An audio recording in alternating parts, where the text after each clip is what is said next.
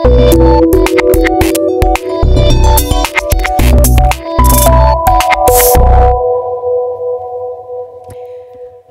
good afternoon, everybody. It's great to see you all here this afternoon for our session on access and affordability. Please uh, I'd like to request that we all take our seats. My name is Julie Gichuru. I've come in from East Africa, and it's a great honor to be with you all today. Let me introduce our panel to you, also from my region. Um, on the far end uh, is Judith Okite, who is the IG coordinator from the Free Software and Open Source Foundation for Africa, FOSSFA, and she's based in Kenya. Right next to Judith, um, we have Sonia Yo Jorge? George. George, oh, okay. I was trying. Um, but Sonia is um, the executive director of the Alliance for Affordable Internet. Great to see you both with us Thank this you. afternoon. And uh, next to Sonia, we have with us Milka. Milka, you need to, to help me pronounce your second name before I, I make another terrible no error. No problem. Pietikainen. Pietikainen. Yes. Thank you. Milka joins us um, from Millicom. Um, and uh, we'll be sharing quite a few insights on business um, and, and, and efforts to really access um, that next billion we're talking about this afternoon. And last but certainly not least, we have with us Ulf Pehrsson, is that correct? Perfect. Thank you. Doing well. Vice President Ericsson, based right here in Sweden. We're going to have an exciting discussion this afternoon because we are talking about the next billion. Now, on, on your uh, on your little sheets, it probably says the last billion, does it? But I think we'll start talking about the next 1000000000 mm -hmm. and then get to the last billion, because we're assuming we've got more than one billion to reach. Um, I'm going to start with you, Sonia.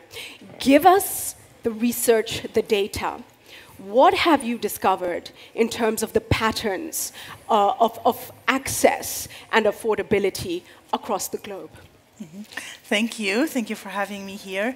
Well, um, I think the most starking uh, finding from our research, which I urge you to look at uh, our affordability report on our website, is that um, for the 46 countries that we covered in our research, about 2 billion people live under the $2 a day poverty line. Uh, that means that for that 2 billion people, affordable internet is by far a dream, not even, even close to be a dream yet. It's far from being attainable, and that's a problem. That's why we are working uh, on policy and regulatory reform at A4AI to try to create the conditions, and through working with the different stakeholders in the countries to create the conditions that will then allow and make uh, affordable internet a reality in the countries. So the research not only shows that there's a large majority of populations in the developing world that uh, cannot afford, but even those that we believe may be, as you said, the next billion that may be able to afford, uh, the internet is still very uh, expensive for them. First of all, access is still an issue, so it's not even accessible in many countries. But then when it's accessible, affordability remains the key barrier uh, to users um, in most of the developing world. And so um, I think you know those are uh, figures that are very important for us to consider, as well as the fact that uh, in most of the developing world, about uh, the prices of the internet are about 30 percent of monthly incomes. And in many countries in Africa and in Southeast Asia, it can be as high as 100%. So again, for those populations, uh, there's a lot of work that needs to be done. Uh, for them to be able to enjoy the kind of benefits that all of us here in this room are enjoying and take for granted. And uh, that's the kind of uh, work that we are advocating for so uh, we work on policy and regulatory reform, as I mentioned earlier, in many different ways, but uh, working closely with the, uh, all the stakeholders, not just at the international level, but primarily and most importantly at the national level, at the country level, so that we can understand, first of all, what are the priorities so that we can connect uh, the next uh, masses of people uh, to the internet, but also what are the key barriers in their countries that need to be addressed from a policy and regulatory perspective. And we work through a multi-stakeholder model that we've been talking a, lot about uh, here today. Um, and we believe that that is a very important model to make sure that the dialogue is informed, inclusive, and also one where uh, the policy process is one that is built at the same time, not just through uh, good research that we also provide and many others that are our members and partners, but also that um, you know, the, the kind of concrete proposals and recommendations for reforms are informed by lessons, by experiences, and also by the desires that the stakeholders in those particular countries uh, have as far as their priorities. If the priority is, for example, focusing on infrastructure versus focusing on spectrum policy, or at the same time focusing on some of those issues. And so we work through that very strong coalition model to uh, really focus on creating those conditions for healthy competitive markets and markets where affordability and access can be a reality for all, not just for those that have the incomes now, but especially for marginalized populations that live under poverty and that are more likely not to have access, including women uh, and many others, rural populations, etc. We'll, we'll, be talking more about that. By the way, I just want to let everybody know that you are able to tweet your questions. We will take questions from the floor, but you can also tweet them. It's hashtag SIF14A please, that's what you'll use. We have our digital curators on the team there, and they'll be sharing some of your questions in just a short while. Before I leave you, Sonia, very briefly, I want to get an indication of what kind of cooperation you get from regulatory authorities in the national environments you work in? Very briefly, please. Mm -hmm. uh, we actually have been really uh, well supported by the regulatory agencies. We are now already actively working in Nigeria, Ghana, and Mozambique. Uh, all of uh, the countries, not only we've signed MOUs with uh, each of the respective governments, but also have the commitment and the support of not only the regulatory agencies, ministries across the different sectors that we see as very critical in the dialogue because we see the internet and ICTs as a platform for development in general. So it's not just about access to the internet, but what are the possibilities that the internet brings about to development. Absolutely. So we also work with education, health, agriculture, industry, etc. And then, of course, we bring together as an alliance ourselves and within the countries uh, also other stakeholders uh, within the private sector and very importantly civil society organizations that work also across the board, not just for ICTs within ICTs, but also in sectors that are very much using ICTs as a platform for service delivery, for uh, product delivery, what have you. And that, that brings me to Judith, your experience on the ground. we know access to the in internet has been transformational across sectors um, on the African continent. Mm -hmm. But there are huge challenges, even in countries where, you know, there's been huge efforts to make sure that broadband is available um, across the country. So let's, let's just talk about what the challenges are on the ground. Mm -hmm um, and what the best practices are to address those challenges. Give us some instances of things that you've seen that have been transformational. Uh, thank you very much, Julie. Uh, it's good to be here this afternoon. I will approach it from accessibility for persons with disability, okay? Um, this is the one billion that is actually forgotten, right? Um, you talk about accessibility, it's about being able to get a product and a service like any other person, but does not happen when it comes to the persons with disability. And so uh, what has been happening on ground, very few persons with disability are able to actually get the service and the product that they need. So as much as the world is moving forward with the privacy issues, we have a whole stakeholder left behind that is not connected. Yeah. And this is because of infrastructure issues. What, what are the challenges? Um, affordability, because um, there are instances that will need assistive technology. Okay. So to make them available, more especially in, in developing countries, and make them not only available but affordable. And then secondly, also, I mean, the stakeholders really need to, to come together, the technical community, they need to understand um, when I have my website up there, who is my target? Mm -hmm. Yeah? What percentage is going to achieve, um, is going to receive the information that I'm putting online, and which percentage am I leaving out? And um, not to bash out even the, the SIF that we are in right now, we don't have captioning. So if there's anybody here with a hearing disability, they're not able to follow this. Right, if they can't read. And, you know, these are the things we forget, and we appreciate that we have you here because yes. you are reminding us and telling us that technologies must also be adaptable. Yes. We must be able to consider these issues. I'll come back to you, Judy, right. on that in just a short while. Let's talk uh, from a commercial perspective now. Um, and um, it's great to have both Ericsson and also Millicom on board to share your experiences, particularly with respect to accessing the people that Sonia has been talked, talking about, those who are finding it, uh, you know, a huge challenge even just to afford to get on the internet What's Tigo doing about it? Hmm. Um, so, so Millicom is a, is a telecommunications company that works in, in 15 markets across Africa and, and, Latin America under the brand name of Tigo. So I think most of you might know Tigo, but not know Millicom. We have how, how many know Tigo? Okay, okay, there, there we have it. Great. We also have very strong links to Sweden. We are listed in Sweden. Our founder was Swedish, so um, that's probably why, why we're also here. Um, so affordable access is really for us um, everyday life um, because of the markets where we operate. I, I, think just to give you a little bit of idea what we talk about affordability, what we mean in, in Africa, the average revenue of our customers in Africa is um, three and a half dollars per month.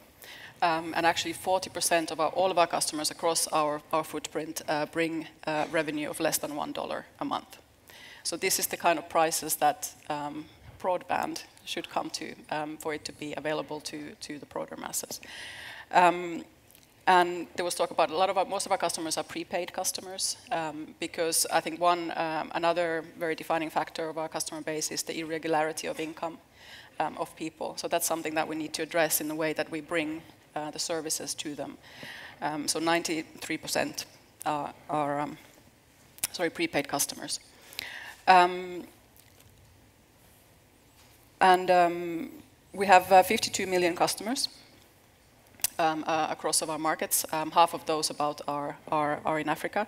And I would like to talk about more about this innovation around access. and exactly on, on how do you address the reality of the irregularity of the incomes, but also the, um, the uh, affordability um, side? Um, I think we're quite stuck in our Western uh, way of understanding um, broadband and and having um, uh, access um, in for for uh, a, that we pay on a monthly basis. our customers buy data prepaid.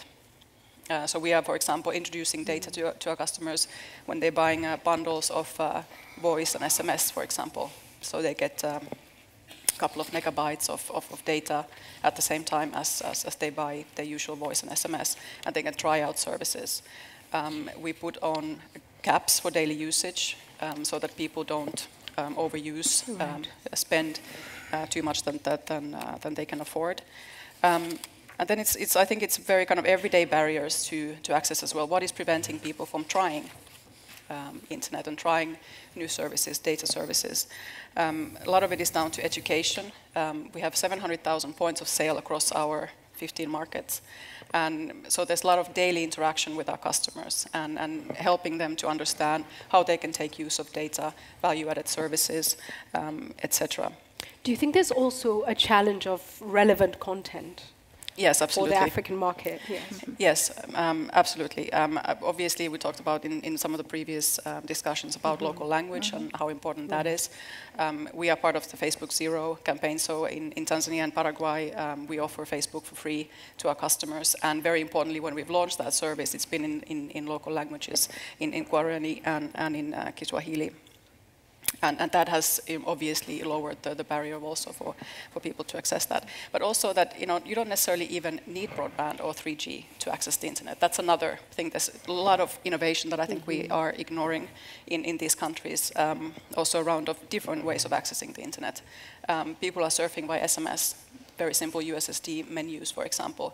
Um, and then we have uh, voice services, so people are, are accessing information with voice, they use voice commands and, and they have information read to them. So that's also you know, addressing some of the, the accessibility issues the around barriers. people who are literate. Thank, thank you for that. And, and, you know, let's come to Ericsson now. Um, the, the, big challenge, I think, the growth on, on the African continent in terms of, of you know, use of digital platforms has, has been phenomenal, mm-hmm. and I think unexpected in many ways uh, globally. Um, what's your strategy now? We talk about getting to the last mile. Mm-hmm. What is the Ericsson strategy, and, and who, for you, who are the next billion? Okay, let's uh, just remind ourselves that, that uh, affordability is, is the key factor, of course, and, and Ericsson is a proud member of the alliance, of course, but we've been working on, on, on affordability for, for more than 100 years, uh, all through the Ericsson history, to, to connect uh, the next million or billion or, or whatever. Mm -hmm. But I think we have to remind ourselves that affordability is very much about uh, scale. Otherwise, uh, you won't reach affordability. Globally, we have now reached some 7 billion mobile subscriptions. But still, a minority of those are mobile broadband, making it possible to access the internet. So the challenge is, of course, to not only grow the number of, of, mobile subscriptions, and they will grow in the next five years by some 2 billion or so to reach more than 9 billion, but the proportion that will be on mobile broadband will actually be very high. Some 80, 90% will actually be on, on mobile broadband. But still, going to the Africa situation, Still, we only have a penetration of some 70%, 72% in Africa, and the majority of them are still on 2G, I mean voice and SMS. So the challenge then is to reach, uh, of course, 100%, but also a much higher proportion on, on, on mobile broadband. And we, the technologies are there, and uh, affordability is coming, especially through the smartphone. Most people on this planet will access uh, the internet over their smartphone. And we have forecasted that the number of smartphone subscriptions will grow three times in the next five years, from less than 2 billion to close to 6 billion. And that will be the way to access the internet. And coming to affordability, uh, we know that for, and, and, we see, of course, the prices of mobile devices, smartphones actually, uh, uh, coming down. So for every $10, the price of a smartphone comes down, there will be maybe 100 or 150 million people globally that will be able to access this technology. So we look very positively to, to, to the uh, development in the next few years. So this is an aggressive move towards making it more and more affordable for mm-hmm. customers. And let's talk about other interesting patterns. We're going to come to the digital curators in a moment to get some of the, the, the Twitter feedback. Um, but I just want a, a quick overview um, from, from Sonia, you first. What other global patterns are interesting to note? Uh, in terms of affordability, or you, you mean in terms in of terms the sector of access, in terms of access, yeah. yes, and well, affordability. What I think, what I would like to share with you is that uh, I mean, there's a few patterns that are consistent with what at A4AI we call best practices in policy and regulation. And uh, basically, they give you guidance on the kinds of things, really the kinds of conditions that we're trying to achieve when we work on reform processes in different countries. So, you know, some things may seem very uh, kind of obvious. You know, everyone knows that we're trying to move towards very healthy, effective, competitive markets.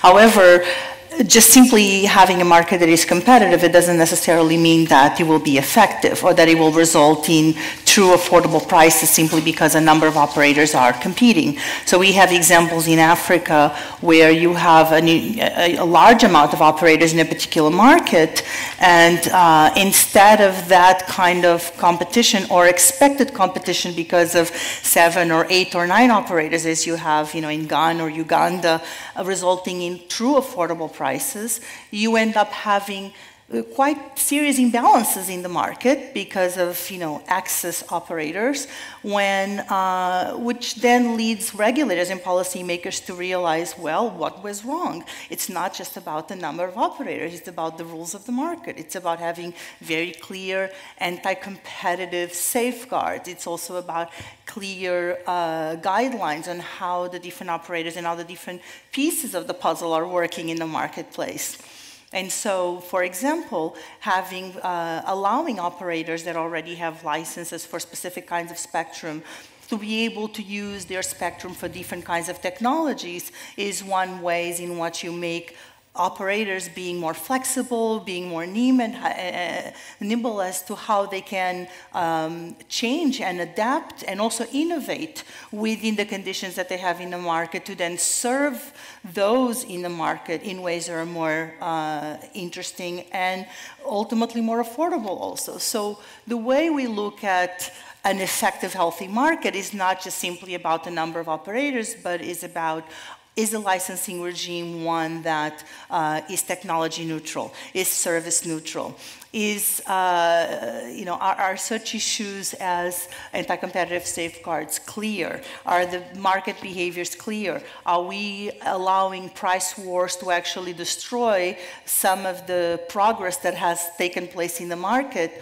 Or are we preventing that to take place? So those are some of the ways in which you look at uh, and, and we hope to see these trends moving in many different countries and regulators, that's why we work very closely with them, being very aware and monitoring their markets very clearly so that they can quickly uh, not react to the problem, but anticipate some of the issues and some of the problems that are taking place so they can uh, fix some of those imbalances. And that also takes place, you know, some other trends, as you asked, you know, it's not just about the level of competition and, uh, you know, really the, uh, the, effective competitive outcomes, but also other ways, which I think are very much related to what Ulf was mentioning, um, as far as how do you reduce the cost structures to then uh, impact on price.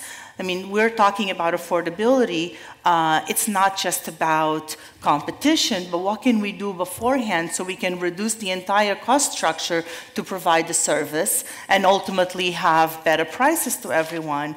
And so one of the many areas that we work to try to reduce those cost structures is, for example, infrastructure sharing and how can we not only encourage but be very clear about how infrastructure sharing uh, can reduce not only investment costs for each single operator but how can it also reduce operating costs for operators.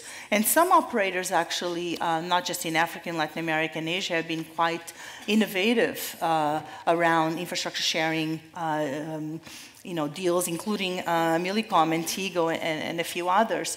But we, we haven't done enough. We, there's quite a bit more that needs to take place. So see, these are some of the trends, let's say, that we see, but we want to see more and we want to push further ahead. Right. I, I want to just investigate further the, the, whole idea of infrastructure sharing because Tigo, you've mentioned, is one of the companies that has done that. Mm -hmm. um, most operators will resist it immediately. You know, they don't ordinarily want to work with a competition. Um, there's just a lot of suspicion around those kinds of issues. So how have you made it work where, where it is working? Uh, well, we must be um, among the exceptions because we, we embrace that uh, mm -hmm. very much. Maybe it's because we're one of the smaller players as well.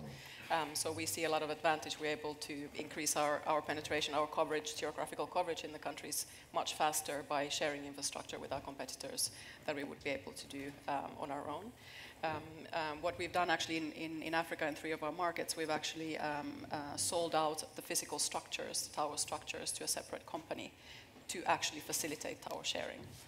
Um, so, um, and that way everyone is comfortable. Yes, exactly. yes, right. yeah. So we all have our, we, we, still have our antennas on that on that tower, but um, it's also you know uh, environmentally much, uh, but also relating to operational cost as well, are, are mm -hmm. going to be much lower when when you're you know fueling or um, that base station together.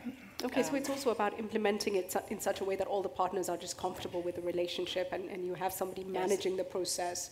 Um, and so no partner seems to have the upper hand over the other. Mm. Um, okay, I, am going to come back to you. coming to you with a big one, Judy. Okay. I'm on the way there. Well, let's talk a little bit about what you've seen in terms of best, best practice uh, globally. You know, things that maybe yourselves or other companies have implemented that have been game changers in terms of cost and, and access. I think we have to, to uh, look at a, a, number of issues here, and I think it's important to understand that this is not something that we can deliver alone from, from industry as, as an operator or as a vendor, as Ericsson uh, delivering the, the, the, the technical infrastructure. Uh, as Sonia already alluded to, I think the, the regulatory environment is absolutely key. Uh, but not only then for the supply side, I mean, the fact that we are we need to build out the infrastructure so everyone is actually covered and have access to technology in that sense. I think we need to work a lot on the demand side, to speak. And here, governments have at least as an important role to develop the content, if you like. And, and Ericsson, as, as a member of the Broadband Commission for, for uh, uh, Digital Development, which was set up some four years ago in order to, to, uh, to reach the uh, Millennium Development Goals with the aid of ICT, uh, I think what, what the Broadband Commission has concluded and recommended is not only, I mean, to work on the, on the access side, I mean, to, to build out the infrastructure, but also to integrate ICT in areas like health, in education, in gender equality, so you integrate ICT in the national development plans. I think that's absolutely key if we are to, mm -hmm. to, uh, to uh, achieve affordability and, and, accessibility. So yes, of course, the supply side, I mean the infrastructure, yes, we are a proud contributor there, but also from the uh, demand side, you need to work from governments on the right ICT policies, and not only for the sort of ICT sector, but for all sectors, because we know, of course, that ICT will enable uh, health, uh, education, uh, and, and, many other sectors to, to develop. I think some very interesting programs. I was looking recently at, a, at, an educational program for schools where it keeps track of school attendance, is able to monitor the performance of students in schools. But this was particularly implemented to keep the girl child in school. But you can see the scope of it widens and it starts to impact on so many other things. And that brings me to uh, my question for you, Judy. You've explained the challenges that uh, people who live with special needs have when it comes to use of technology and access to the internet.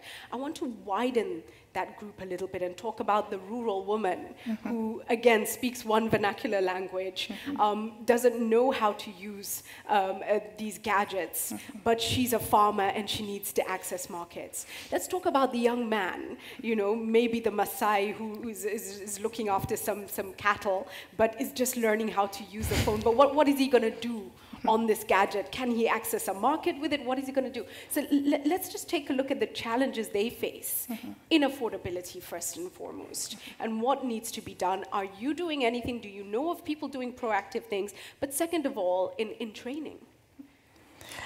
Um, thank you. Indeed, a lot needs to be done in the capacity building area. Mm -hmm.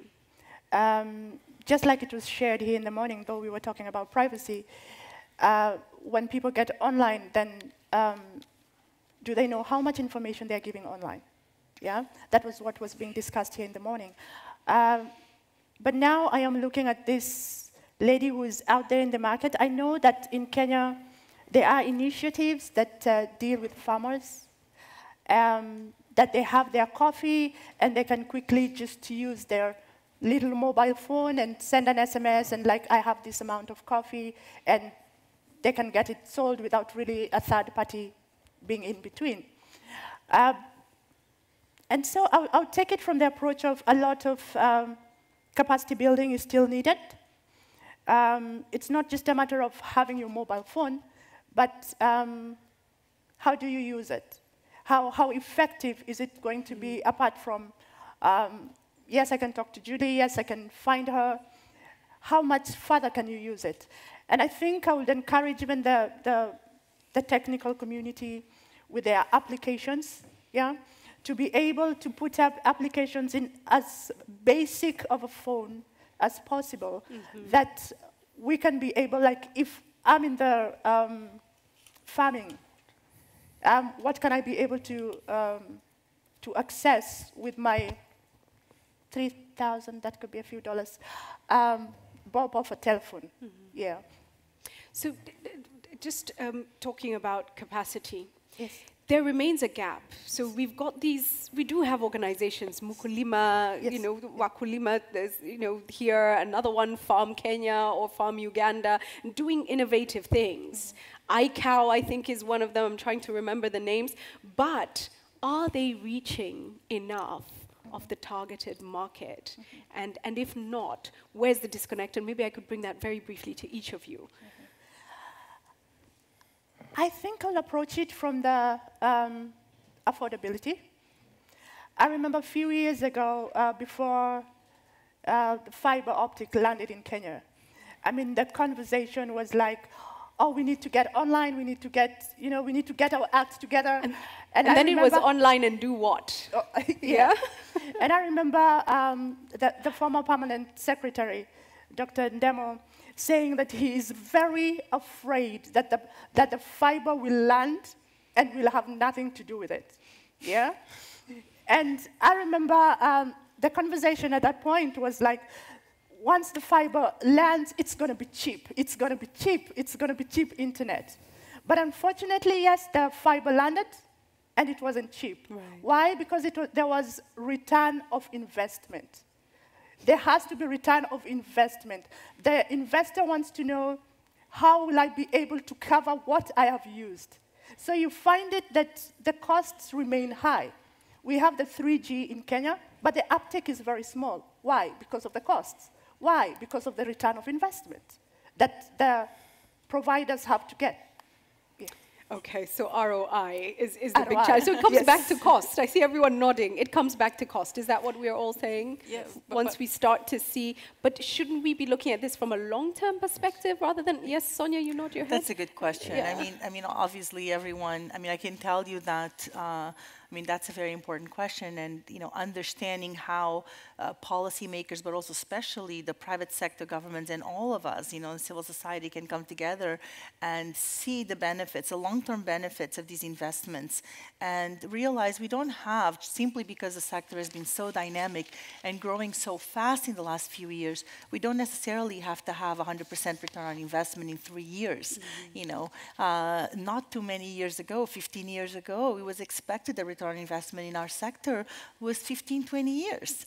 And all of a sudden, because of the fast-paced development, uh, everything has to be in three, five years. Well, that really, especially now where we are in our sector as far as development, really uh, puts a lot of pressure on costs. So one of the things that I'm hoping we can also work, not just with our members, many of, whom are, of whom are uh, here in this room, uh, but to make sure that uh, we can think of innovative ways of also thinking of investment and return on investment. You know, people like using the the cash cow, you know, um, concept for uh, our sector. You know, it's the easy one to tax. It's growing. Uh, let's you know squeeze it as much as we can out of it. The problem is when you do that, you have impact in many different ways, mm. including on investment, if that's the case. And, and we can't allow that. We need to sustain the sector as well in the long term. So you're losing out on so many other gains and possible rev- revenue collection from, from other businesses by, I mean, the same way, I don't wish to see, and I hope governments will be thoughtful when they think about taxing the sector, mm-hmm. taxing the users, taxing the equipment, taxing the infrastructure. I mean, the mm-hmm. equipment that comes into the country to uh, to be uh, laid out uh, for networks. The same way, investors should think, well, if we're going to be able to do this right, perhaps we need to be a little bit more flexible about our return on investment timeframes. Right. I see Milka and Ulf nodding their heads. So Milka, go, go ahead. Yeah. Um, so we are we are one of the investors. So, um, Yes. Um, so obviously, you know, and, and we are a business. So of course, we're looking for return on investment. Uh, just to give you a picture on, on what kind of investments we're talking about, particularly in these markets where you're still building the basic infrastructure. So you're still both uh, building the geographical coverage of the countries to, to the more remote areas, but you also building capacity as 3G is coming. Um, so there's a lot of investment. Last year, 24% of all of our revenues went into capital investments mm -hmm. into infrastructure. 200 million of those went to spectrum. So we also pay obviously spectrum and mm -hmm. licenses on, on, on top of the, the infrastructure investments. So, so the investments are not insignificant. But I think um, we need to look at the kind of, I think the total cost of ownership um, here, like what, what Sonia was, was saying. It, it's not just about us getting return on our investment. It, it's about um, the government having um, um policies in place that are favorable um, for, for people to take, up, take these, these technologies into use. Um, taxes, yes, of course, companies should pay income taxes and employment taxes, etc. But we're seeing increasing amount of taxes on services that we provide, minutes of use, uh, megabytes of use. Um, we have we are taxed on on the money that that moves in the mobile financial services. We are a big provider of mobile financial services as well. We're paying a percentage on those, um, and we're starting to see also some very prohibitive um, uh, actions as well. For example, specific amounts um, per user per month type of taxation, which is really going to not not help the uh, the, right. the, next billion uh, to come in. And then it comes down to devices and smartphones and, and, and those the device prices going down, which is it, they are coming down quite significantly, but I would say more so in Latin America at the moment. Um, mm. So we're approaching about fifty dollars for, for the lower end smartphones. And, and what we are seeing is that when you get to those levels, there's a really big acceleration in, in, in the pickup um, of those. And of course, we are also heavily subsidizing because we're seeing that there is a huge demand in the markets for for social media, for internet to, to access. Thank you. Of your thoughts? Yes, just to say that I agree with, with the, the risk of overtaxing this fast-growing sector because it can bring such tremendous benefits when, when networks are being rolled out. And, and obviously costs are coming down, but, but not, not fast enough as we see it. Uh, and of course, as Ericsson, we, we, we, can provide different solutions how, how, to, I mean, we talk about shared networks and managed capacity, etc. I think it's interesting what, what we have been doing, in, in, in particular in Africa, in so-called Millennium Villages, where together with the Earth Institute and Millennium Promise, we have actually connected, together with customers, uh, uh, villages, rural villages in 12 African countries for the first time, actually connecting 500,000 people uh, with both voice communication then and internet connectivity over mobile networks. And uh, I think that's an excellent example where you can showcase the, the tremendous positive development impact of, of connectivity. And I think that in this partnership, and it needs to be sort of a public partner, public-private partnership, and we're working here together with our customers, and they, I think, sometimes are being surprised to see the strong demand and also willingness to pay for these services that are being brought to, to, to people in these rural areas for the first time. So I think it's an underestimation also mm of, of, the willingness to, to, invest quite a large proportion. I mean, of course, I, I can agree that we need to bring down the, the, the uh, proportion of disposable income that you should spend on, on, on broadband connectivity, but still there's a strong willingness of people uh, to, to invest in these uh, services. To get that access. Because they bring right. such tremendous uh, uh, uh benefits to you privately, but also uh, uh, in, in your jobs and so on. Two, two very interesting things. One of the counties uh, in Kenya actually tried to uh, make sure that access to the internet was available for all. Mm -hmm. I'm told it went up and then went down, and now goes up and down. Um, we'll follow up that story and see what impact that does have on, on, on the county. But also on a tour of Turkana, where the Horn of Africa drought, the epicenter of the drought, um, we happened to go with one of our mobile operator uh, CEOs, the people begged for uh, a mast to be put up and, and, and to have access to, to the network. And they did so. And went back a year later and found these people said thank you because every time we got raided, the cattle raids. We had no way to call anyone. Mm -hmm. And it was days before anybody knew the situation was dire. Mm -hmm. And, and that just understanding the responsibility of our mobile operators, even when it comes to security for the people. And, and so the balance, I guess, between profits and, and also a social responsibility is a huge balance. Um, digital curators, over to you, please. What do we have coming in on Twitter? The mic, please. There. Not yet? Could you keep trying? Okay. In the meantime, ah, there Am I go. heard now? Okay. Thanks, Julie. There are some um, responses from the digital audience as well, and uh, mostly they reflect what is being ta- talked here and discussed. Uh, but let me raise them nevertheless, and we, we can maybe uh, get a sense of what the digital audience want to hear and want to share digital as well. Excuse me. Um, so some people are saying affordable internet as a dream, which is the most pessimistic and you know uh, more, most pessimistic uh, view uh, shared on online. So we can see quite a lot of them who think that affordable internet, uh, especially for the, the, the developing world, is, is a dream to a large majority. Um, and most of the people want to see more concrete measures um, than the ones discussed or raised here. Uh, for instance, I think one question tackled Ericsson's role uh, to take the initiative to face the challenges uh, for innovation, for affordable technology to reduce the costs, especially in rural Africa. Of course, there are thematic concerns as well. One of them is gender, and Africa is, all, um, is also very a big uh, concern for the audience, digital audience. I'm, uh, we can sense, I can, I can see that most comment, commentary are coming from Africa, which is um, nice actually. Um, It's great. but um, for instance, one question says, what can be done to make sure that more people are online, especially in the developing world? And also, um, there are some alternative views that, you know, people think that affordable internet and also access to internet are not only about infrastructure and prices, but it also requires uh, more info education and contents for uh, people with less free time. So it's an alternative, alternative view of uh, access to internet, which um, kind of transcends the, um, the, the money um, and the cost and, and the infrastructure uh, point of view. Um, and people share, of course, as you speak here, people share really valuable stats to see the bigger picture, to, to understand the bigger, bigger picture. Um, statistics about numbers about mobile subscription, especially in, in, in, in Africa and sub-Saharan Africa, and uh, the gender divide between um, the males and females and their access to internet in, in sub-Saharan, which hits now 45, 45%, which is uh, a, major, a major concern for our digital audience as well. And lastly, um, but not least actually, uh, people also ask about there's 1 billion, who are the next billion we need to get online? Are they defined or should they be defined by age, gender, region, or profession?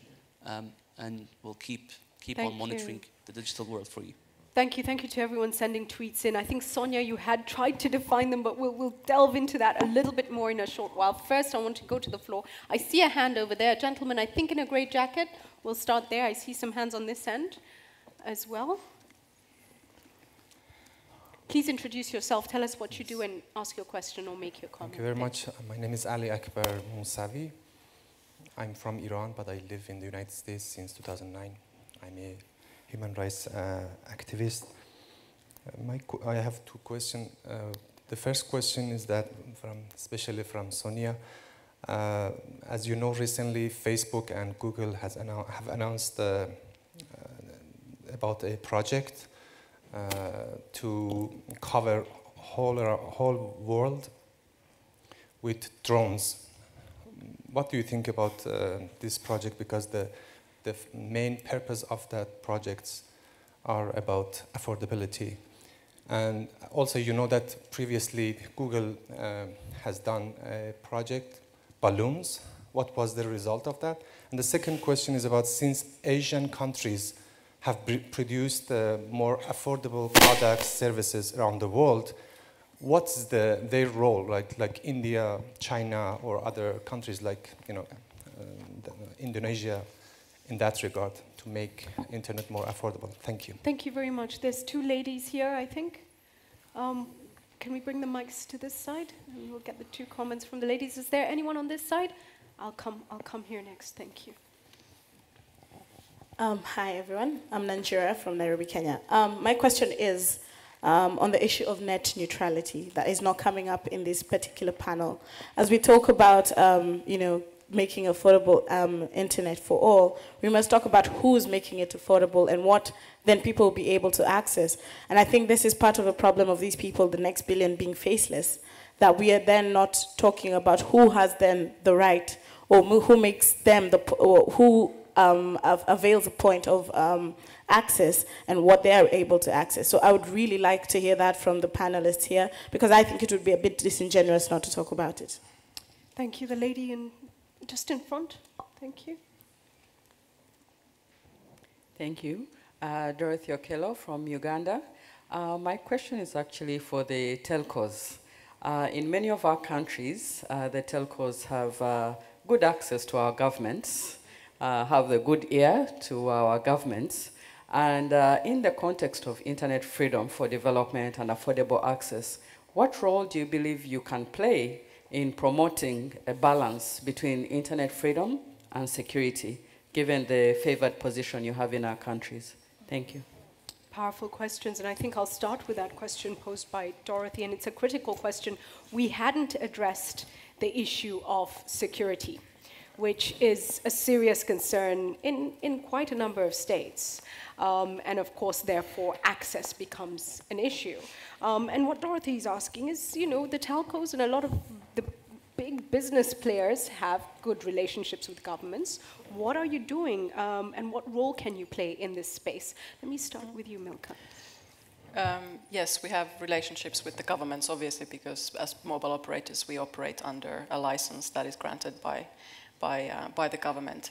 Um, what leverage do we have in that situation is another question, um, um, which isn't, I, I, I, think, which isn't um, particular to uh, our markets or in the developing world. I think it applies, applies everywhere. What leverage do operators have who, who operate under a license from the government and who are obliged, obviously, to, to respect local law?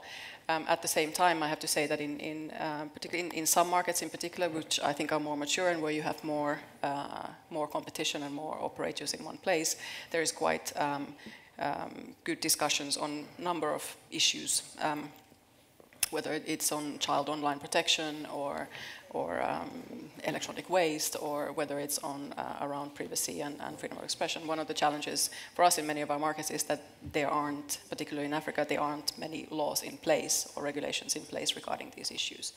Um, so obviously that's something where we do have an interest in, in having a discussion with the government and making sure that whenever um, those measures or those laws are being discussed or implemented, that they are as transparent and as clear as possible in, in the process, in the due process, so that it is as easy as possible for us to, to um, not only assess the legality of requests, but then also be able to reject requests that are not fitting into the law. Ulf, your thoughts on this issue? Yes, just to, to, to start out by saying, of course, we play somewhat different roles in the value chain here. Uh, we don't work under a license from the government. We are a provider to operators that work under a license from the government. So we have different roles. Of course, the, the issue of security is a very wide one. One is, of course, resilience of the networks. And, of course, and there I can guarantee you that that's a top priority for a company like Ericsson to ensure the, the, uh, that the networks are stable, that they are not uh, collapsing. We have what we call the five nines, 99.999% of the, of the time the network should be up and running. That allows us for five minutes downtime. So that's one important aspect. Privacy is another one, which was the, the uh, subject of a previous debate here uh, this morning.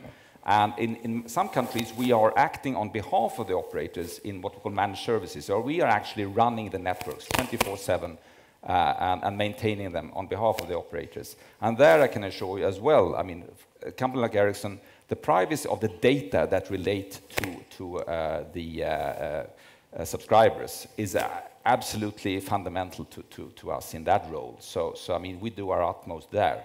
And then I just can, can agree that when it comes to, uh, although we are not the, the object of and, and not sort of targeted with, with, uh, with uh, requests from governments on, on, on data, uh, etc., uh, uh, I can just agree with, with, with Milka here that that needs to be handled in, in a very uh, transparent and, and, and, clear process uh, based in law and, and, so on. Right. I think it's interesting you say, with respect to privacy, you do your utmost. And I'd love to yes. prod and investigate what, what is utmost? Yes. How far does utmost go? It goes very, very far. I mean, of course. Uh, yeah. Absolutely. Yeah. Okay. Because I mean, I mean, we, I mean, we are a listed company. I mean, we, we have uh, we have investors, we have uh, uh, NGOs that, that care about how we handle these things. So you're things. saying you have to be transparent? No, we want to be transparent, Uh-huh. but we have expectations on us as well. Okay, so uh, we, we could delve into this. It's not the focal point of this discussion today, but, but it is interesting Yeah. If we have But time, I- I'll come back to If it. I may just sorry, Yes, go, So if I may say one, one word on that, I think the equipment manufacturers, I think they, they do play an important part. And it's not only the physical equipment, there's also a lot of software uh, services that, that we buy, buy from them. And I think they do play an important part in privacy, in, in data privacy, creating systems and, and, and products that do keep data secure. So from, from that perspective, um, there is definitely an important I, I think huge, element. huge issues around data security and privacy, and this has been discussed already today, so rather than go back into it, um, let's move to Nanjira's question now. And Nan- Nanjira says, you know, let's talk about net neutrality. Let's talk about whose role is it exactly to make access affordable? Where does the buck stop? I'm going to start with you, Ulf and Milka, and then Sonia coming to you and Judith. Yeah, there are different things in here. So net neutrality first, I think we, could, we can spend probably half an hour just debating what net neutrality is. Is. But I mean, of course, uh, Ericsson, we would be against any blocking or discrimination, etc., in the networks. Uh, so that's absolutely clear. Uh, and, and I think affordability is, is, is a, a different issue. Uh, but uh, I mean, net neutrality, yes, as I defined it, we're, we're definitely for that. And at the same time, we have to recognize, and, and being a provider to probably 40% of the mobile networks around the world, in order for any operator to be able to deliver high quality services to you as the subscriber, as the end user, uh, the, and the, because these are, are highly sort of complex uh, technologically, uh, these networks, uh, especially the, the mobile networks, uh, there, there is a room for, for the operator. In order to deliver that quality of service, you need to manage the traffic in, in, in a responsible way. And there should be clear rules about that, and I think there are in, in most places around the world. Okay. Yeah, that, that's an, actually an excellent question. Um, so who, who should decide what internet and, and, and who? Obviously, we're talking about affordability, so and I think we're all working towards more affordability and making internet available to as wide a population as possible. As an operator, that's of course what we want. We want more customers. Um, uh, yes, the, it, net neutrality is a complex issue on, on you know, uh, managing data in the networks, ensuring quality of service. Um, when it comes to affordability, yes, um, this is something that I also debate myself. Um, Because when we, when we talk about value-added services, which is one of the main ways I would say that our, many of our customers are now accessing data, what we call data services, so the next generation from voice and, voice and SMS, they're still they're limited to the services that we provide. So that does, you know, of, of course, um, bring bring the limit. So that's why I think 3G and moving into that space and, and having the device prices come down on the smartphone side and, and, and, and expanding the, the, the mobile broadband in general is really going to be key for, for that universal access. But with respect to the question, who, where, who is You said it's a debate it you should be the have. Do you not have an answer? from our perspective, the customers should be the ones who decide. And, and um, from what we see now is, is that there is a huge demand for, from our customers, for example, for social media is extremely popular with our customers. So a lot of the services that we bring to them at this point are very focused on, on that, Facebook, Twitter, on different methods, whether it is with, through internet or, or something else. And that's the first. Okay, Sonia, you had a specific question um, Yes, for you, um, but before you come to it, maybe you'd like to comment on the other two as well. Um, I'll start with the questions. Okay. I mean, with I, I mean, I can tell you just generally, so we don't go into too many details. Uh, just as we believe in technic, technologically neutral licenses and service neutral licenses, we also think the networks need to be as neutral as possible, and net neutrality is a very important issue um, in many regards. So, but going to, so there's a few questions uh, to meet from you and from the audience. Um, I'm not going to speak uh, on behalf of Google. I think there might be some Googlers here in the room, so hopefully they can Google, also are you represented uh, share. What I would like to say is that A4AI and Google is one of our members uh, as well, as well as Facebook and many other uh, companies. Um, but what we, the way I see it is that um, innovation is important in all respects especially when you're thinking about affordability. Uh, it's important that innovation is there, that is supported, that is encouraged, uh, especially the kinds of innovative solutions that will indeed drive down the costs. However, and this is why one of the things that I always say to you know, our colleagues at Facebook, at Google, or any other company, regardless of the innovation that you have, if you don't have the right policy framework or regulatory framework, your technological innovation cannot go very far. And so it's very important for us that those innovations are supported, but at the same time that there's a framework that you can benefit from them if I'm thinking, if I'm uh, focusing, as I mentioned earlier, which is our focus, on populations that have very limited incomes, they're living uh, rural areas, uh, etc., you want to make sure that those populations are reached by innovative solutions. And this, the ones that you mentioned um, in your question are some of them. It would be wonderful to see good results from them uh, in the near future. But such are also innovations around uh, spectrum uh, that many companies are exploring to figure out ways of providing uh, more affordable mobile broadband. Uh, and that's, that's really what is our focus, is pushing innovation that is going to provide solutions that are creative, but at the same time are really focusing on lowering the cost of provision. Mm -hmm. And with, with, that, I also wanted to add that uh, you know, we were talking about uh, spectrum earlier and mobile broadband and the fact that uh, one of you mentioned that for the most part, many uh, people will first access the internet through a mobile device. Well, the reality, even the very recent numbers that the ITU published uh, two weeks ago about, put the numbers on mobile broadband very low as far as penetration, even though there are some more users of the internet in, through many different platforms, the truth is either fixed or even mobile broadband, it's a very, very small percentage of people who actually can afford purchasing it. So in Africa, you have, I think the new, newer statistics are about 19% of the population uh, actually can and purchases subscriptions of mobile what, what broadband. what is the pattern of growth, though?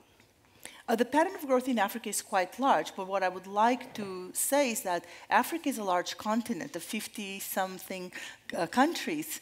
And so the countries that I'm working in, uh, Nigeria, Ghana, Mozambique, and others that we are uh, working with already uh, as well, we see penetration rates that are far below that, mm -hmm. even the, the continent average. So in Mozambique, uh, there's not even 1% uh, mobile broadband penetration. In uh, Nigeria, we're getting close to about 18, 19%. In Ghana, we, you know, if we're lucky, maybe by the end of this year, we'll be in the 10%. And when you think of affordability, in fact, Allison was here earlier on the on stage from Research ICT Africa. Their research has shown clearly that uh, it's not just about the barrier of the cost, which is one of the most important barriers to many in Africa, but it's also the fact that women make about 40% less uh, incomes mm -hmm. than men, and so they they have an even additional barrier to get to those to be able to afford those kinds of services that are now available. If you think about uh, people with uh, special needs, we're working with some coalitions in Nigeria, for example, of um, advocates for people with special needs, and uh, their statistics show that a larger percentage of populations with special needs are also poor a much larger percentage. So those, to me, it always comes down to cost. And innovation is very important as far as it's going to hopefully allow for that. But it, right now, it's an experimentation. Okay, just, just very quickly, Sonia, the other question that was put was, you know, Asia seems to be doing better at managing costs. Mm -hmm. um, what can we learn from Asia? Mm -hmm. well, in fact, uh, yes, and I, I, guess one of you asked the question about some other countries. One of the things that we do in the regions is that we work with some of the countries where some good lessons can be learned. Mm -hmm. And some of you mentioned Malaysia, uh, Kenya in, in, Africa, Colombia in Latin America, India in, as far as rural development as well. And we also um, hoping to work with many of those governments, some of which we are already uh, engaging with, so that we can exchange those lessons and uh, facilitate a more South-South dialogue, really, with the countries that we work in, so that we can learn from each other about those experiences. Malaysia, for example, was considered, I mean, in our research, in our affordability report, was actually uh, ranked number one in the developing world. And one of the reasons why that was the case was precisely because of their very innovative policy of using government uh, funds to support not only investment, but to support content uh, development mm -hmm. as well as okay. uh, devices and the ability of purchasing devices by youth uh, not just at schools, but actually special subsidies for youth to be able to purchase devices. And that's some, another area that we can talk about. It's the role of government of increasing and making sure that that demand is there and is supported and actually is also subsidized because Creating for the most part you need that support. Creating capacity. Ulf, I know you want to address the issue of technology, but Judy, first I want to come with you. And um, I think Dorothy raised the issue of the balance mm -hmm. between some of of the security issues and, and you know, we're talking about access and affordability, but we're not talking about perhaps not talking enough about the capacity that needs to be created around that. Even when you look at the morality of a society you know and, and i speak specifically uh, because in very many of the environments that we're speaking of, when Sonia explains who the next billion are, there are, they are volatile environments. Very many of them are, are socially unstable, um, you know, have maybe governance issues. Um, therefore, where is the balance? And whose responsibility is it to ensure that as people get access, it is responsible access? wow. Uh, responsibility, I guess, um, lies on every internet stakeholder. We will, we will police ourselves. Yes, mm -hmm. responsibility lies with every one of us. Uh, about, uh, can I just jump over to civil society and I might just shoot myself sure. in the foot? So, jump, jump over. I guess like the earlier question that had been asked about net neutrality. Mm -hmm. um, my take is the technology that we have right now, it's very difficult to have a yes or no answer. Yeah? Like who is to give us this? And I can easily say, no, it's the telcos. Because as he said earlier, I'm, I'm sorry I'm not able to pronounce your name. Both. my, my colleague, I can call him that. yeah. As he said earlier, um, we cannot be able to do it by ourselves. A telco cannot be able to achieve what we are expecting by itself. They'll need the service providers, they'll, they'll need government, uh, they'll need the civil society. So I, I guess it's, it's, not, it's not under one umbrella that we can be able to, to fit all, all this it's a responsibility for each and every other person. Self-regulation. We're going to have to do it. We're going to have to play that game. I saw two hands here, so I'm coming to you in just a moment. Very briefly, okay. if you wanted yeah. to contribute on the issue of technology. A few words about the technology, because yes. I, I, think we have to, to recognize, as I started out by saying that, that we have now reached 7 billion mobile subscriptions in the world. Mm -hmm. and, and that is based on open global standards, not based on an Ericsson technology or a Huawei technology or, or, a Nokia technology. It's commonly owned. I mean, we are all invested in this technology as the operators. And it's open and everyone can, can, anyone can build a phone based on those, those open standards. And that has brought the scale, and scale brings affordability. Mm -hmm. I think it's important to remind ourselves when there's a debate of, well, there comes some, some new innovative technology. I mean, we are investing $5 billion a year in, in innovation in Ericsson, and, and, and so are our peers in the industry. So, so I think that, that there's a, uh, uh, pace is not uh, as, as, high as it should be, probably, uh, because we, we still have these gaps in, in, in affordability and accessibility. Mm -hmm. But I think that uh, uh, the answer will not come from niche technologies or something like that that will revolutionize it. But uh, just to, on, on, the scale as well, and answer, there was the question on innovation, can we learn from Asia, etc. I think we can all learn from each other. Right. We can learn a lot from Africa we've seen that with connectivity, with access to this technology, innovation starts. And we've seen, um, not least in your home country, uh, when it comes to mobile payments, etc. And we know that there are two and a half billion people in the world that uh, don't have a bank account. Right. Two thirds of those actually have a mobile phone. And the technology is there. So, with the right regulation, etc., uh, we can see uh, a, a large, uh, a fast growth of, of, of, mobile services over mobile devices. Yes. And, and that was actually started out in, in, in, in, in, uh, in Africa. Right, so, so, so, we saw M-Pesa and now right, the, yeah. the, unbanked are being banked yes, on, yeah, their, yeah. on their mobile phones. The two questions, please, on this side. The gentleman there in the glasses, please. Julie. There's also some people on that side. Oh, there, I see. Okay. We're going to try and come up. Please make it as brief as possible. Thank you. Yes, I'm Tonyo from the Philippines. I have two questions for the civil society uh, panelists. What do you think is the role of the state in bridging the digital divide? Uh, we've, we've been focusing on the private sector and civil society cooperation. What do you think should be the role of government or the state Thank you. And, Give us your next one. And uh, in your view, what's the nature of internet access? Is it a value-added service? Is it a product?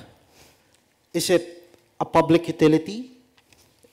Uh, because that would color everything.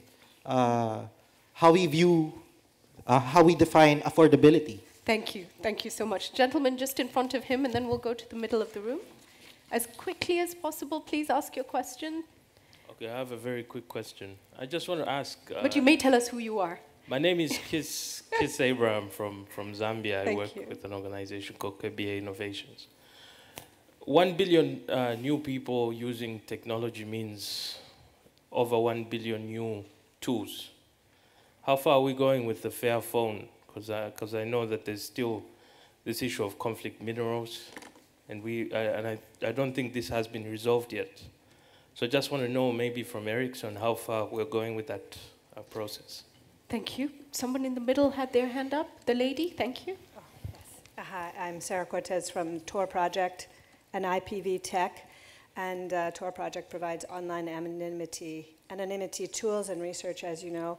And IPV Tech seeks to involve girls and women in technology training and uh, bridge uh, the technology world, uh, providing uh, access and help to girls and women.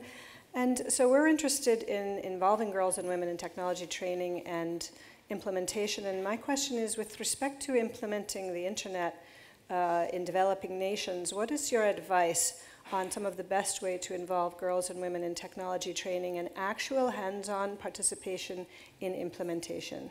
Thank you so much for that. I'm going to take just one more, and I have to take it right from the back of the room. Okay, I see this gentleman here. We'll fit you in as well as, as she walks to the lady at the back. Go ahead with your comment. Thank you. It's, it's, it's, it's very quick. My name is Carlos Dada. I am from El Salvador. Mm-hmm. And, and, and I was wondering if uh, internet is so important these days in our societies. If, if shouldn't we consider it a public good and make the Mm-hmm. states guarantee accessibility to it instead of leaving it only in the hands of private companies. Thank, you for that. Thank you. The lady at the back. Uh, My name is Lydia from Uganda. My question is to the lady from Tigo. From your, from your understanding of the market, do you think there's any risk that as we move the next billion online, they'll actually lose some of the advantages we had got from non-online connectivity? For instance, when the next billion move online, what happens to M-Pesa? You- You know, is it, do you see any products being built to make sure that what they're doing on M-Pesa, they'll still be able to do online? You know, Okay, thank you. everything. We, we, There's one more question. We don't have time. Sonia, Sonia has taken the session over. We're going to finish on time, sadly. I'm so sorry to everybody else who had questions. Um, so I, I'm going to start with you on this side, Ulf. Um, you've heard the various different questions, and I'm going to allow you simply because we have only seven minutes less left to address the ones that are of Okay. most interest Okay. um, to you. So, um, Yeah, that, first that was a direct question from the gentleman over there on, on conflict minerals. And, and uh, I can assure you that, that the industry, including Ericsson, is, is uh, working hard on this issue. We know that there is legislation already in the United States on that. There is legislation or recommendations be, being prepared within the European Union on that. Of course, it's a difficult uh, uh, subject, uh, and, uh, but I think industry is committed to uh, uh, avoid be, being complicit in, in, in any way in, in action that would uh, aggravate the situation in, in those areas where, where these minerals are be, being uh, are, coming from. So, so yeah, I can assure you that industry is strongly committed uh, on this area, and I'm happy to, to talk details about that. Can I just? yes, Yes? It, just as you go on, the, Yeah. the one billion new tools, where are we? Sorry. The one billion new tools, as we connect the one billion new people, next, Yes. the next billion, Yeah. we need new tools. Where are we? Is one of the questions. Tools? the- You mean devices or what? I, th- I think, do you mean the software? Do you ah. mean applications? Where is the Zambian? I think, I think devices. Yes, yes. What do you mean specifically?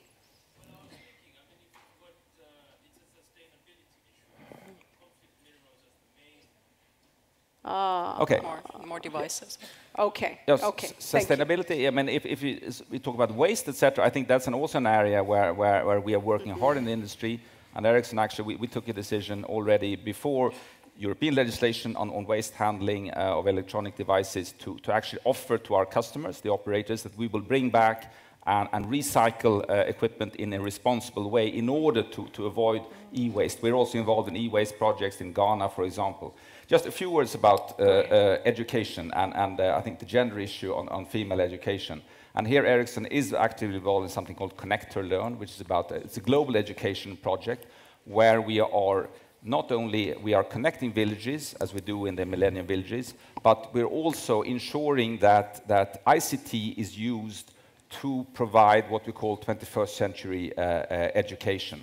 Uh, because ICT will revolutionize education. It's already started to do that. But and we are prioritizing girls here because we see that uh, secondary education for girls is uh, a, a challenging area, and, and we are working hard on that to bring 40,000 students in our projects. Thank you. Ed- educating girls transforms communities. Yes. Milka, your thoughts on the different questions? We've had the one on, on, on uh, girls and access to uh, tech training for them addressed, but do you have any other ideas on that?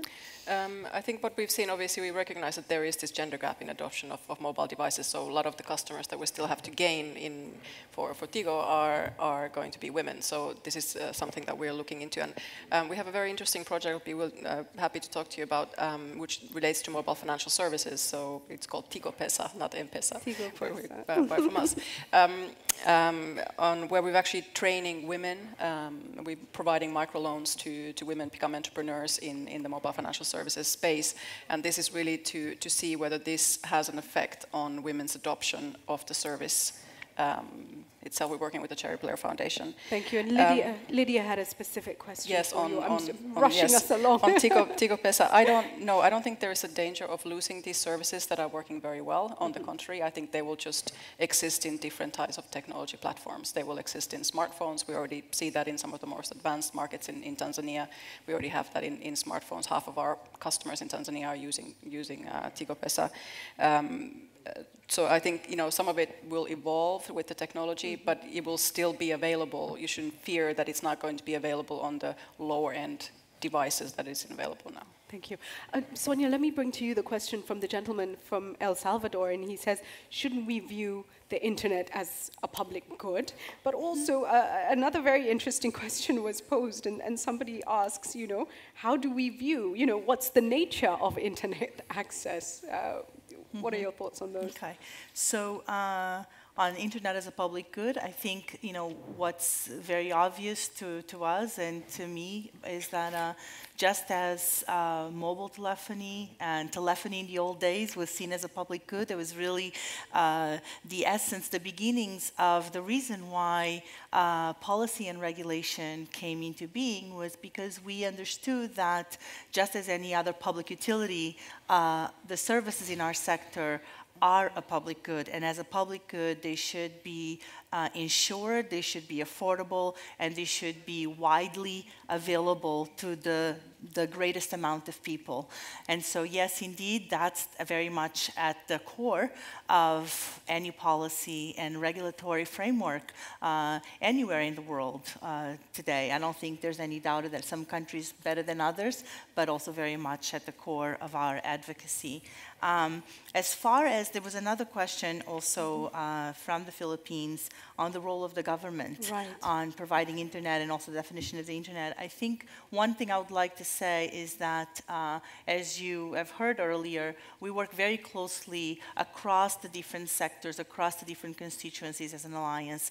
We ourselves see, our, see ourselves as a multi-stakeholder alliance, but we also work with multi-stakeholder coalitions that we establish in the countries um, that include public, the private, and civil society organizations very strongly, exactly because we see that all of them have a role to play, a very important role to play. Just as uh, women's organizations or uh, education organizations or what have you have a role to play in making sure that we understand the vision of ICTs and the internet for those groups, the government also needs to have a role to has a, one critical role to play so that they can uh, transform their policies in a way that leads to achieving their visions of ICT and the internet for their countries and for the development of their countries at the social level, at the economic level, at, you know, if some people would argue even at the cultural level, because the internet is changing our culture as well. And so it has an important role also as a key partner with the private sector. Uh, we don't have time to speak about that, but I urge you to look at our affordability report that actually has very specific recommendations on how civil society, specifically, as someone asked me as well, uh, how civil society can engage in this process. and we have very detailed recommendations on how to go about that. Thank so look so at it. And I'm happy to talk to any of you after these. Okay, Judy, you have the last word.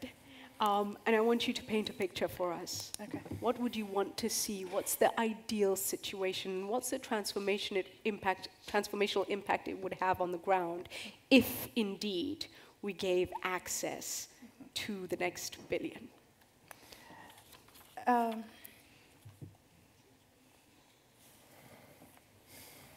wow. Okay, I'll begin it from there as I think it through. Okay, we, we're actually at the end.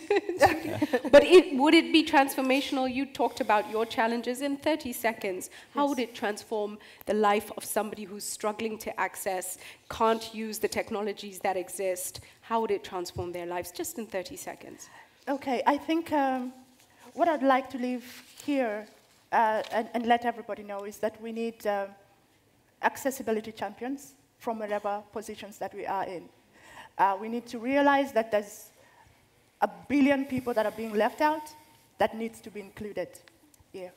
Okay, so we, we, we end with that. Yes. But finally, actually, we, we are giving our Twitter feed a chance to wrap up the session. Just Julie, one there are minute. so many you. questions we must leave uh, uh, actually aside, but uh, although the physical panel ends here, the, the hashtag will always be open. So Right. uh, for such an important topic, please let's get in touch with our hashtag SIF14A to keep on discussing. To keep the conversation yeah, going. and there are so many other questions that our participants and the, and the audience can consult and, and see, and, and I think we should, we should keep on discussing this very vital issue.